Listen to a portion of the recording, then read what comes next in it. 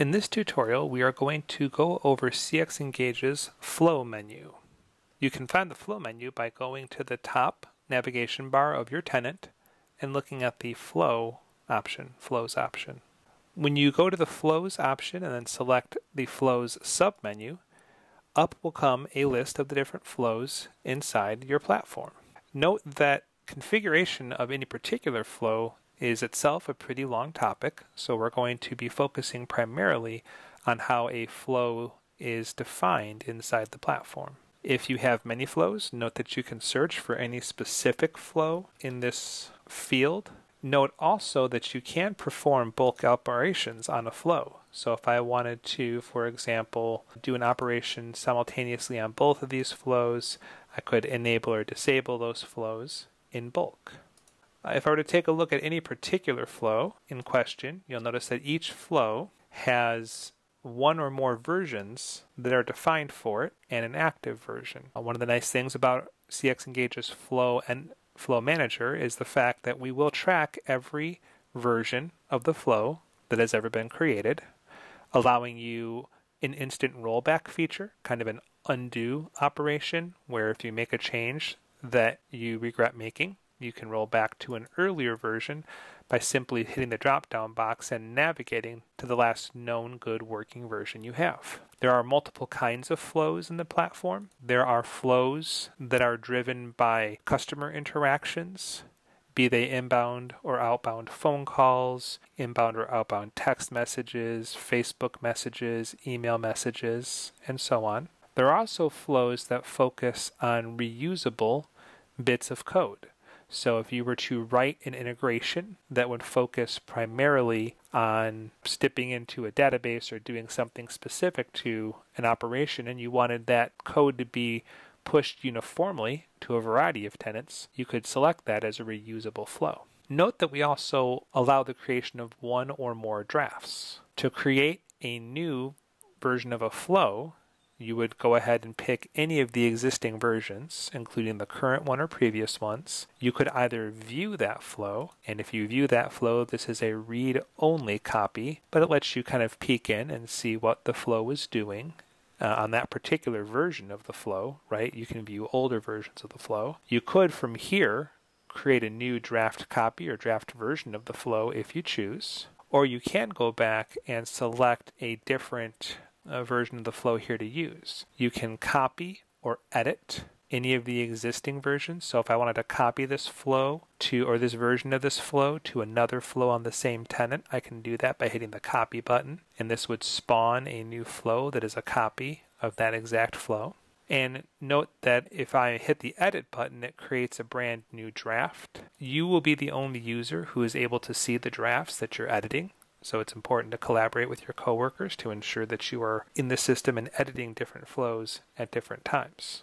This tutorial will not address in-depth flow creation. We will defer that to a future conversation. In addition, underneath the flows menu, we do have the queues option. In the CX Engage system, a queue is a list of interactions that need to be handled, but not necessarily the agents who handle those interactions. By that that I mean that every phone call or every email or every chat or really any kind of interaction you create or route in our platform will always end up in a queue. But it is not true that you would ever add a particular user to a particular queue. Instead, you add users to skills or to groups. And the reason for this is when I add a phone call into a queue, as an example, I can then tell that queue to route that phone call to an agent that meets certain criteria. This is an interesting use case because it allows you to create many queues, but perhaps only to have a few groups to manage how agents are a member of those queues. In meaning that you could have many queues for reporting purposes, but simple, easy management that allows you to take an agent into or out of many queues at once with very few clicks. Note that also each queue is able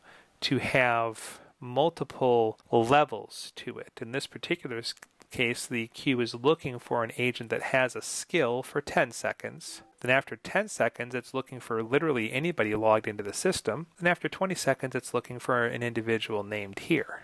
So by teaching the queue to look for an agent who meets certain criterion rather than teaching the queue to only look for agents who are assigned to that queue, we allow a lot of dynamic flexibility and we allow easier administration because with proper organization, it's very easy to move agents into and out of many different kinds of queues. Another excellent feature of queues is the fact that queues have versions. So if you have a particular queue that you want to run a certain way in the morning, and in the afternoon you want to run it differently, you don't have to worry about taking agents into or out of that queue you simply can change the active version of the queue. This allows for immediate changes that will impact all interactions in the queue without having to require you to go in and manage bulk groups of agents. And then when the timer has passed and, and the reason for this particular flow is changed, you can go back to the previous flow. It's very flexible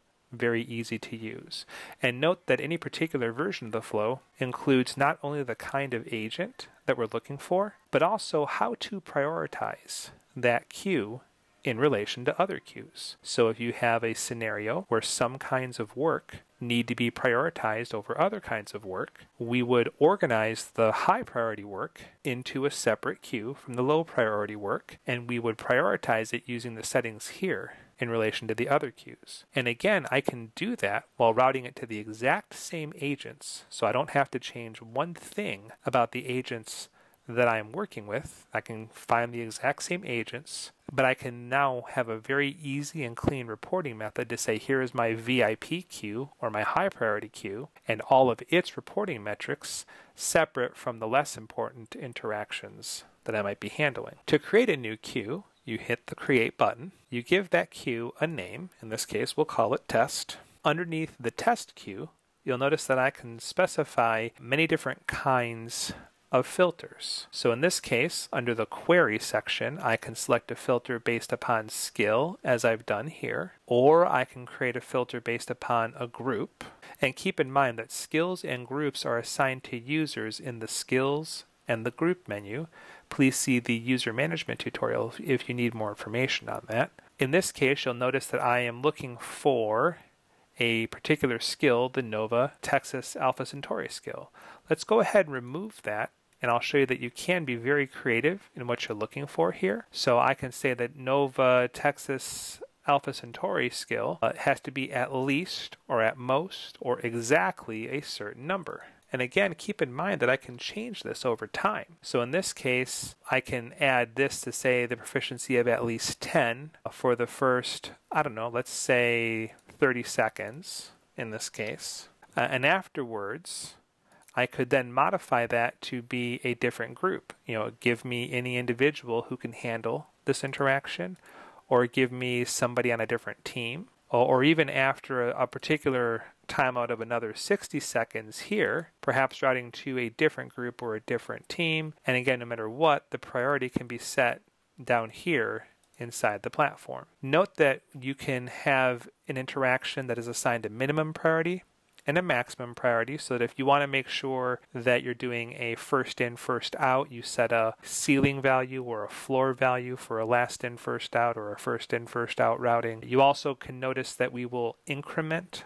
the priority of an interaction over time. So it might be true that a less important interaction eventually becomes as important as a more important interaction, but maybe you want to cap it over time. So we never want it to reach past a certain priority, but we want to increase it by one or by a certain amount every X seconds, Y seconds. So it, there's a lot of different ways that we could configure the route to age over time as you need it. A similar process goes if you are creating a version of a queue. So if you wanted to come in and have a particular version of the queue, you can go through and hit the plus button and be presented with a very similar look and feel, focusing on the kind of agent you're looking for based upon a skill or a group membership. Another thing that we can work with inside the flow menu is a collection of media files. So to do that, you can go into the flows and hit the media option. Media gives you a couple of different options to choose from. You can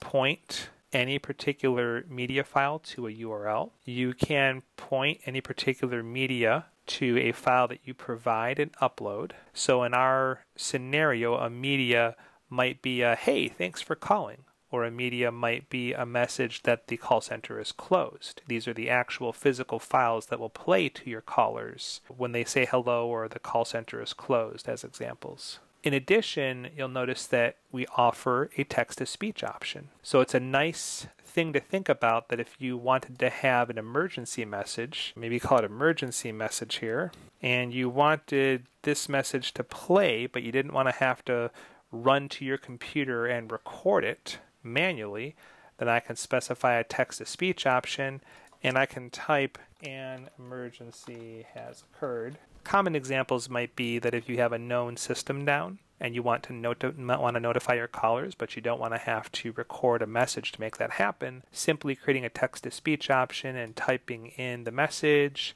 and referring to that in the flow would be all you need. Note that we do have multi-language support in our media prompt operation, and that different languages, if I were to, for example, select uh, the, U- the US English setting, I can also select different voices. Serenova does recommend the use of the Alice voice. The text to speech provider has normalized the Alice voice across many different languages, and the use of the man or woman or other voice selections may be a little bit more specific to some languages than others. So it's considered best practice to focus on using the Alice voice in general. Another very common use for flows would be to come into the flow option and go down to the dispatch mapping section. If you go to dispatch mapping, this is where we tell CX Engage what flow should get any specific kind of interaction. In this case, I can tell CX Engage that if an SMS message comes in to a long code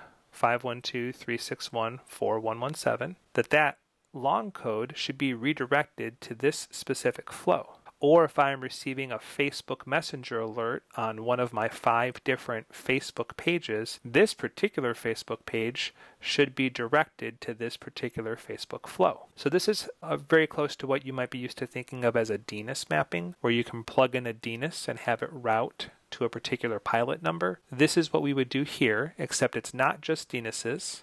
It's also emails, even outbound integrations, or, or other kinds of things that we could run because CX Engage is a true multi platform, a multimedia platform in, when, in which we handle all media types interchangeably. If you click on any particular phone number, you'll notice that you can select the type of mapping this is. Is it a voice, message, or SMS, email, or a text chat?